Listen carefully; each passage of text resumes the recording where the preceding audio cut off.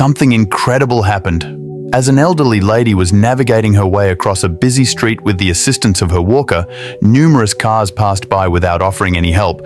But then, this dark grey car came to a stop and got out and helped the old lady across the street. A second driver also ran out to help her after seeing another driver helping. He ran over to her and the other person put her walker across the street and they both lifted her up and walked across the street safely with her. Then they went back and got her walker so that she can carry on about her day. If you think these men have a kind soul, then subscribe.